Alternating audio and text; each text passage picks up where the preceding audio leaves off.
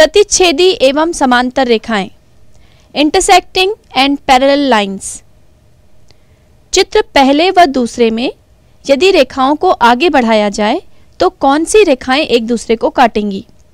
यहाँ रेखा A B व C D एक दूसरे को नहीं काटती हैं, जबकि रेखाओं जी एच व ई एफ़ को क्रमशः एच व एफ़ की दिशा में आगे बढ़ाने पर एक दूसरे को ओ बिंदु पर काटती हैं।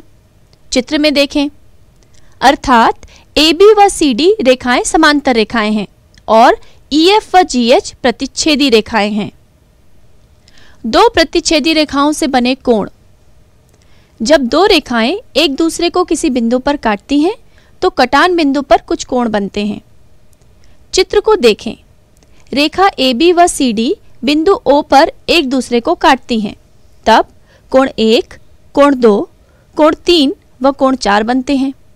क्या कोण एक व कोण तीन तथा कोण दो व कोण चार में कुछ समानता है? यहाँ हम देखते हैं कि कोण एक व कोण तीन बिंदु ओ जो कि कोणों का शीर्ष है, पर एक दूसरे के सामने के कोण हैं।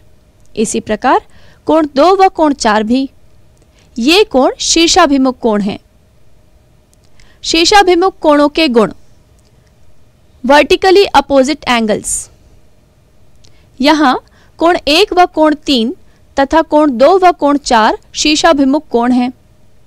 अब रेखा सी डी के ऊपरी भाग में कोण सी बी धन कोण बी ओ बराबर कोण सी ओ डी यहाँ कोण सी ओ डी कौन सा कोण है? यह सरल कोण है। अर्थात कोण सी ओ बी धन कोण बी ओ डी बराबर 180 अंश या कोण दो, धन कोण तीन बराबर 180 अंश। समीकरण पहला।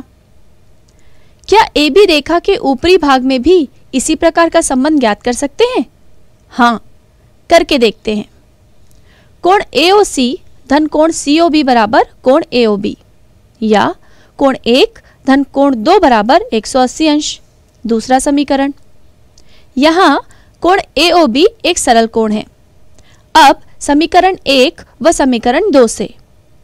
कोण दो धन, कोण तीन बराबर, कोण एक धन, कोण दो। या कोण तीन बराबर, कोण एक।